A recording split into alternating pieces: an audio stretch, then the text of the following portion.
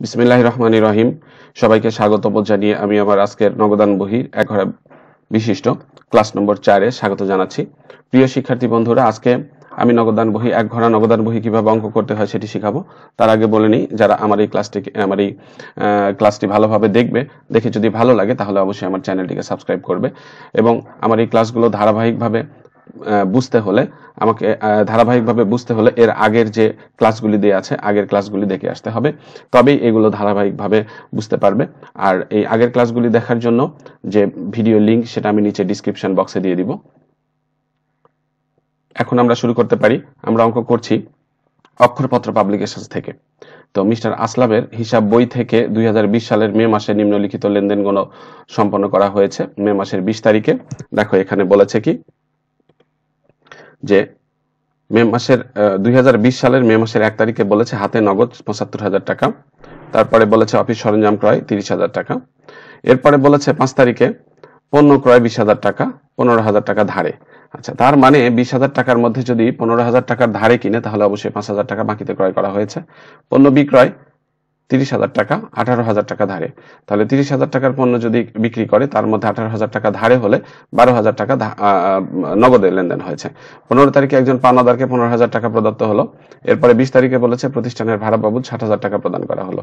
নগদের পণ্য বিক্রয় করা হলো চব্বিশ হাজার টাকা। করণীয় কতে বলছে নগদান বইতে অন্তর্ভুক্ত হবে না, এমন লেনদেনগুলির জাবেদা দাও। করণীয় খতে বলেছে মে মাসের বিশ তারিখের লেনদেন গুলির জন্য বা লেনদেনটির জন্য একটি ডেবিট ভাউচার প্রস্তুত করো। তারপরে এখানে উপরোক্ত লেনদেনগুলি দ্বারা একটি এক ঘরে নগদান বই প্রস্তুত করো। শিক্ষার্থী বন্ধুরা, এখানে করণীয় কতে বলেছে, নগদান বইতে অন্তর্ভুক্ত হবে না, এমন লেনদেনগুলির জাবেদা দাও। আমরা দেখতে পাচ্ছি যে আমাদের নগদান বইতে অন্তর্ভুক্ত হবে না যে দুটা এন্ট্রি আছে মাত্র, এই যে বিশ, এই পনেরো হাজার টাকার ধারে মাল ক্রয় এবং এখানে দেখতে পাচ্ছি এই যে আঠারো হাজার টাকার ধারে মাল বিক্রয়, অর্থাৎ বাকিতে মাল ক্রয় এবং বাকিতে মাল বিক্রয় যে যাবে তাতে সেটা হবে। তার মানে এখানে এই যে পনেরো হাজার টাকার মাল আসলে ধারে ক্রয় করা হয়েছে। তাহলে ক্রয় করলে আমাদের ক্রয় নামক ব্যয় বাড়ে, আর ক্রয় হচ্ছে একটা ব্যয়বাচক হিসাব। তাই ক্রয় হিসাব আমাদের ডেবিট লিখতে হবে। আর এটা ধারে কিনেছে তাহলে এখানে প্রদেয় হিসাব বেড়ে গেছে। প্রদেয় একটা পানাদার বা দায়বাচক হিসাব। তাহলে প্রদেয় হিসাব যদি বৃদ্ধি পায়, তাহলে সেটাকে ক্রেডিট করে দিতে হয়। অর্থাৎ আমরা প্রদেয় হিসাবকে ক্রেডিট করব। আর পরেরটাতে যেটা বলেছে, পণ্য ধারে বিক্রি করা হচ্ছে। ধারে বিক্রি করলে তো আমরা টাকা পাবো। তাহলে যে টাকাটা পাওয়া যাবে, সেটাকে বলা হবে প্রাপ্য হিসাব। অর্থাৎ একটা সম্পত্তি বেড়েছে, প্রাপ্য হিসাব নামক একটা সম্পত্তি আঠারো হাজার টাকা বেড়েছে। আর পাশাপাশি বিক্রয় নামক একটা আয়ও বেড়েছে। আয় বাড়লে হয় ক্রেডিট সেটা আমরা জাবেদায় শিখেছি। তো যাই হোক, আমরা এগুলো নিয়ে এখানে আলোচনা করছি না। আমরা এই দুটার এখন জাবেদা আমরা দিয়ে দিতে চাচ্ছি। তো ঠিক আছে, প্রথমে আমরা লিখব এখানে করণীয় ক, মিস্টার আসলাম, সাধারণ জাবেদা বই। এই যে আমাদের জাবেদার শখ, এটা করলাম।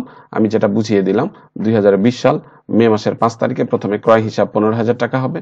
তার পরবর্তীতে, যেহেতু আমাদের প্রদেয় হিসাব বেড়ে গেছে, তাই প্রদেয় হিসাব ক্রেডিট হবে। পনেরো হাজার টাকা এবং ব্যাখ্যা লিখতে হবে ধারে পণ্য ক্রয় করা হয়েছে। এটাকে এভাবে ক্লোজ করে দিলাম?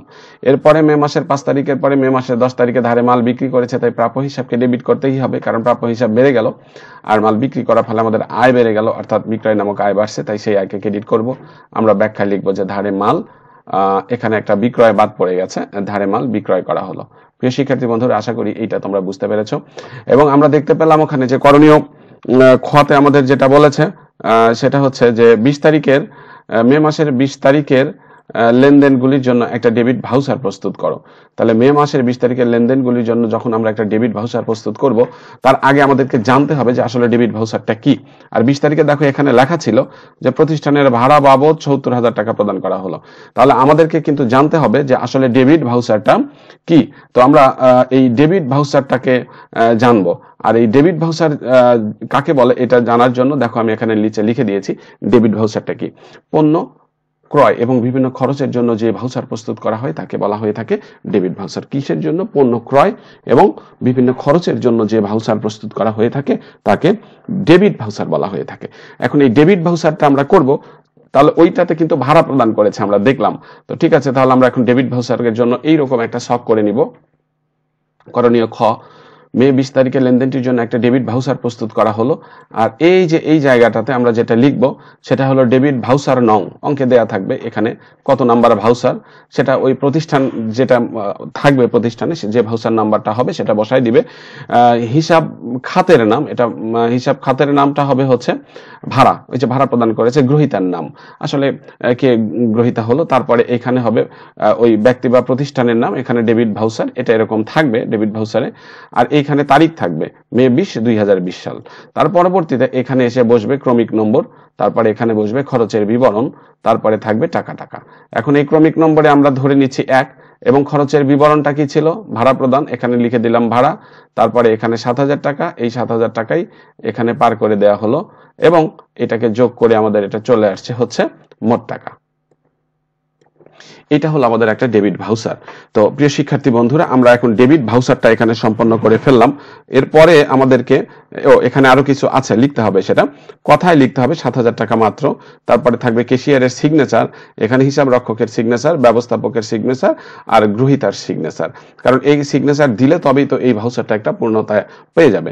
এর পরবর্তীতে আমরা যেটা দেখব, সেটা হচ্ছে দেখো, এখানে করণীয় গতে বলেছেন, উপরোক্ত লেনদেনগুলি দ্বারা একটি নগদান বহি প্রস্তুত করো। তো নগদান বহি প্রস্তুত করব প্রথমে বলা আছে হাতে নগদ পঁচাত্তর হাজার টাকা। তো ঠিক আছে, আমরা এখন শুরু করে নেই। মিস্টার আসলাম, এর এক ঘরে নগদান বহি, এখানে করণীয় আমরা লিখে দিয়েছি।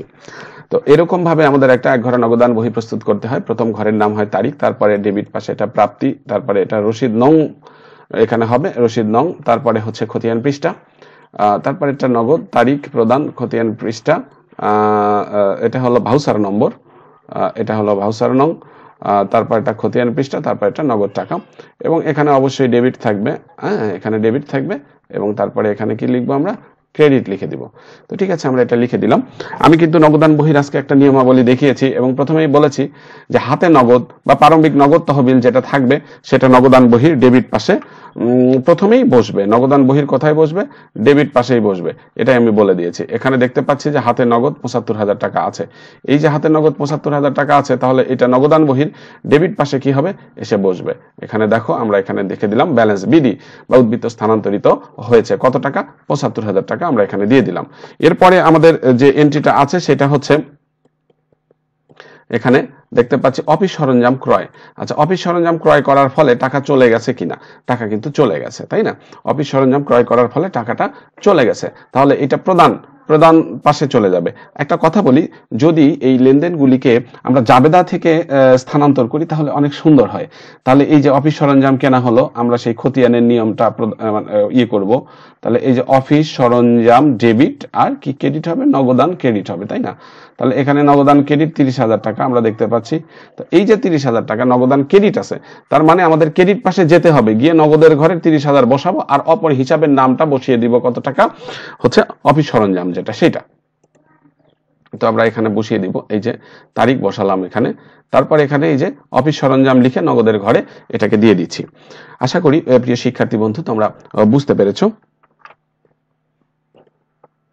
এরপর আমাদের দেখো পাঁচ নম্বরে যেটা বলেছে, পণ্য ক্রয় বিশ হাজার টাকা, যার মধ্যে পনেরো হাজার টাকা ধারে। আমরা ধারে ক্রয় করলে কি জাবেদা হয় সেটা দিয়েছি। তাহলে নগদে যে ক্রয় থাকল বিশ হাজার টাকা, এটার জন্য একটা জাবেদা দিব আমরা। এটা জাবেদা হবে ক্রয় ডেবিট আর হচ্ছে নগদান ক্রেডিট। হ্যাঁ তাহলে এইখানে কত টাকার ক্রয় ডেবিট হয়েছে বলো তো? পাঁচ হাজার টাকার ক্রয় হয়েছে। এই যে পাঁচ হাজার টাকা নগদানের ক্রেডিট পাশে যায় বসবে, তাহলে অপর হিসাবের নামটা কি লিখব? ক্রয় লিখব। এবং এই যে নগদান আছে এখানে এটা নগদানের ঘরে আমরা বসিয়ে দিব। ঠিক আছে? তাহলে এটা ক্রেডিট পাশে তারিখ দিলাম। তাহলে আমরা কি লিখব? ক্রয় লিখলাম। লিখে এই যে নগদানের ঘরে এটাকে বসিয়ে দিলাম। আশা করি এটা বোঝা গেছে। খুব সহজ অঙ্ক। আসলে একটু মনোযোগ দিয়ে বস মানে করলেই এটা খুব ইজি মনে হবে। এরপরে দশ তারিখে বলেছে পণ্য বিক্রয় তিরিশ হাজার টাকা, যার মধ্যে আঠারো হাজার টাকা ধারে। এখানে আঠারো হাজার টাকার ধারে তাহলে বারো হাজার টাকার মাল বিক্রি করা হয়েছে নগদে। আচ্ছা নগদে মাল বিক্রি করলে নগদ টাকা পাওয়া যায়, তার জন্য যাবে জাবেদা হবে। নগদান ডেবিট কত টাকা? বারো হাজার টাকা। এবং বিক্রয় ক্রেডিট কত টাকা আসবে? বারো হাজার টাকা। তাহলে এবার এবার কিন্তু টাকাটা বসবে নগদান বহি, ডেবিট পাশে নগদ কলামে এবং কি করে পাওয়া গেছে? বিক্রি করে। তাই আমাদের লিখতে হবে বিক্রয় হিসাব ক্রেডিট। তো দেখো আমাদের এখানে এই পাশে আসলো। আমরা এখানে একটা বিক্রয় হিসাব লিখে এখানে নগদের ঘরে টাকাটাকে বসিয়ে দিলাম। প্রিয় শিক্ষার্থী বন্ধুরা, এই, এইবার আমরা পরের যে এন্ট্রি আছে, আমরা সেখানে যাব। একজন পাওনাদারকে পনেরো হাজার টাকা পরিশোধ করা হলো। পাওনাদার মানে প্রদেয় হিসাব, যে টাকা পেত তাকে দিয়ে দিচ্ছি। তো পাওনাদারকে টাকা প্রদান করলে আমাদের জাবেদাটা কি হচ্ছে? প্রদেয় হিসাব ডেবিট আর নগদান ক্রেডিট। আমরা পাশাপাশি জাবেদাও শিখে ফেলছি, খতিয়ানও শিখে ফেলছি, নগদান বহিও করতে পারছি। তাহলে কত টাকার এটা ছিল? পনেরো হাজার টাকা, দেখো। এই যে পাওনাদারকে টাকা পরিশোধ করা হলো, তাহলে এবার দেখো, নগদান হিসাব ক্রেডিট আছে, তার মানে ক্রেডিট পাশে নগদের ঘরে বসবে, আর অপর হিসাবের নাম, প্রদেয় হিসাবটাকে আমরা কি করব? এখানে লিখে নিব। তো ঠিক আছে, এখানে আমরা তারিখ দিয়ে দিচ্ছি, দেখো।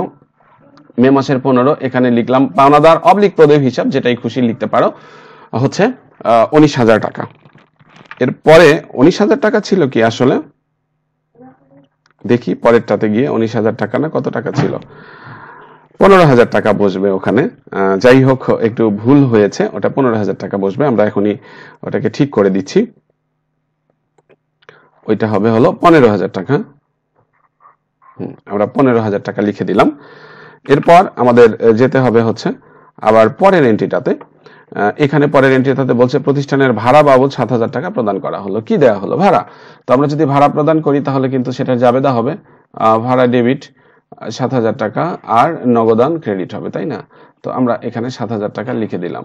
তো ঠিক আছে, তাহলে এই যে নগদানের ক্রেডিট পাশে আছে সাত হাজার, অপর হিসাবের নাম হচ্ছে ভাড়া। আমরা এটাকে সুন্দর করে লিখে দিব। এখানে তারিখ বিশ, এখানে ভাড়া হিসাব লিখে নগদের ঘরে দিয়েছি। তারপর আমরা দেখতে পাচ্ছি এখানে যেটা হবে সেটা হলো বাইশ তারিখ, নগদে পণ্য বিক্রয় চব্বিশ হাজার।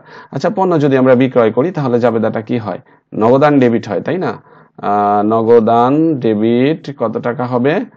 চব্বিশ হাজার টাকা এবং এই যে বিক্রয় হিসাব ক্রেডিট হবে চব্বিশ হাজার টাকা।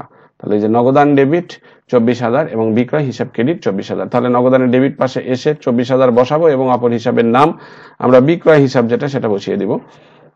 তাহলে এখানে লিখলাম, তাহলে এখানে বিক্রয় হিসাব লিখে নগদের ঘরে চব্বিশ হাজার টাকা বসিয়ে দিলাম। প্রিয় শিক্ষার্থী বন্ধুরা, আমাদের এই কয়েকটা এন্ট্রি ছিল যেটা নগদান বহির আমরা এখানে বসিয়ে দিয়েছি। আশা করি তোমরা বুঝতে পেরেছ। এখন আমরা যেটা করব, আমাদের কাজ হবে এই যে নগদান বহি ডেবিট পাস যেটা আছে, এটাকে আমরা কি করে দিব? যোগ করে দিব। ও আচ্ছা নগদান বহি ডেবিট পাসটাকে আমরা যোগ করে দিব। এখানে যোগ করলে টোটাল যোগফল এক লক্ষ এগারো হাজার টাকা আসছে। এই যে এটাকে কিন্তু ডাবল টান দিয়ে ক্লোজ করে দিব। আবার এবার এইটাকে ডাবল টান দিয়ে ক্লোজ করার পরে এই টাকাটাকে আমরা কি করব? এই টাকাকে ট্রান্সফার করে এখানে নিয়ে আসব এবং এটাকে ডাবল টান দিয়ে ক্লোজ করে দিব। এবার এই কয়েকটাকে আমরা যোগ করে নিব। ক্যালকুলেটারে যোগ করার পর এক লাখ এগারো হাজার থেকে বাদ দিব। অর্থাৎ এইটা হলো মোট নগদ পাওয়া গেছে এক লক্ষ এগারো হাজার, আর মোট প্রদান করা হয়েছে এটা যোগ করলে পাবো একটা ওই টাকা থেকে ওই টাকা বাদ দিব এক লক্ষ এগারো হাজার টাকা থেকে। বাদ দেওয়ার পরে যেটা থাকল, দেখো ব্যালেন্স সিডি হচ্ছে। এইটা কত টাকা থাকল? পঞ্চাশ হাজার টাকা অতিরিক্ত এখন হাতে থাকল। এই যে আমাদের এখানে মে মাসের একত্রিশ তারিখের এইটা, মের পরে জুন মাসের এক তারিখে ব্যালেন্স সিডি আকারে পঞ্চাশ হাজার টাকা আসলো এবং এইটা আমাদের এক ঘোড়া নগদান বই হয়ে গেল। প্রিয় শিক্ষার্থী বন্ধুরা, আশা করি তোমরা এটা বুঝতে পেরেছ। আগামী দিনে তোমাদের এক ঘোড়া নগদান বহি করাবো। তার পরবর্তীতে আমি চলে যাব হচ্ছে দুই ঘোড়া নগদান বহিতে। আবার একটা কথা বলি, দয়া করে আমার চ্যানেলটিকে তোমরা সাবস্ক্রাইব করবে। যারা দেখছ, অঙ্ক যদি ভালো লাগে, অবশ্যই কমেন্টস করবে। এবং কোথাও যদি বুঝতে না পারো, তাহলে আমার নিচের কমেন্টস বক্সে ছোট্ট করে একটা মন্তব্য লিখে দিবে। আমি অবশ্য, অবশ্যই সেটার উত্তর তোমাদেরকে দিয়ে দিব। আমার এই ক্ষুদ্র প্রয়াসকে তোমরা সহযোগিতা করে আরও সামনের দিকে এগিয়ে নিয়ে যাওয়ার চেষ্টা করবে ইনশাল্লাহ তো আজকের মতো এখানেই শেষ। আল্লাহ হাফেজ।